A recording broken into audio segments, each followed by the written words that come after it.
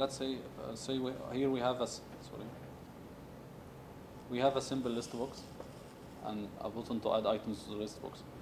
Uh, you can change how the the addition of items or state of adding items uh, behave in uh, Silverlight. So it's we will do the same thing here. Uh, where is the list box? So this is our list box. Okay. We will add we will edit the template of the items in the list box. Okay. So this is our the new list box items and it has different states like loaded or unloaded loaded is uh, when you're adding a new item so I basically what will I do is that I will say uh, let's add transformation from whatever state to add it okay. initially it will be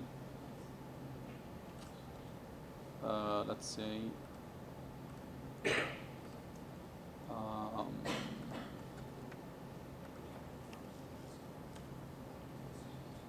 okay. At the uh, at second zero, it will be in this position, zero and 300, okay? And after one, let's say one second, it will be at the default position?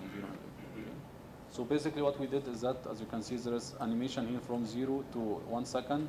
The, uh, uh, the item will be moved from uh, position uh, 300 to position zero, okay?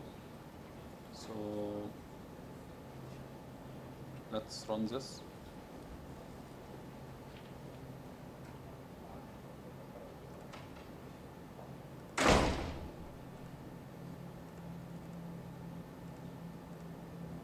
Uh, we didn't notice the animation because we didn't put some uh, time here. Uh.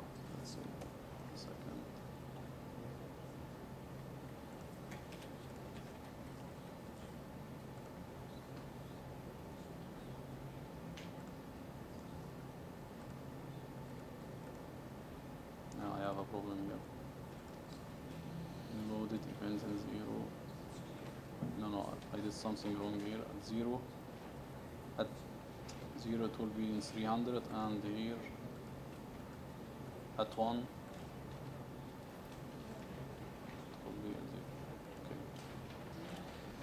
Uh, I don't know what's the problem here. But uh, yani you got your uh, you got my point here.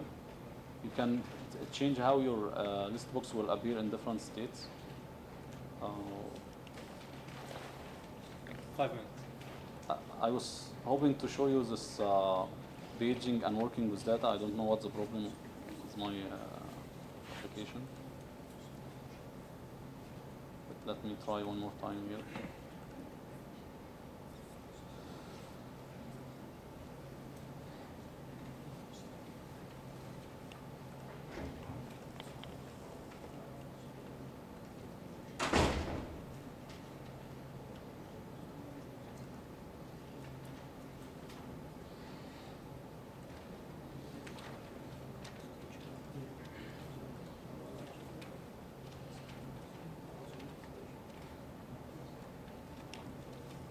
Sorry.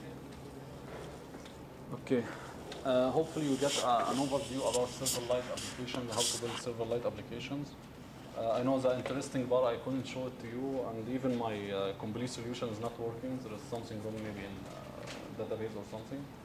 So it's basically the same concept in ASP.NET you have applies here in Silverlight, and you have uh, all the controls that can that allows you to be more productive in creating data-based applications.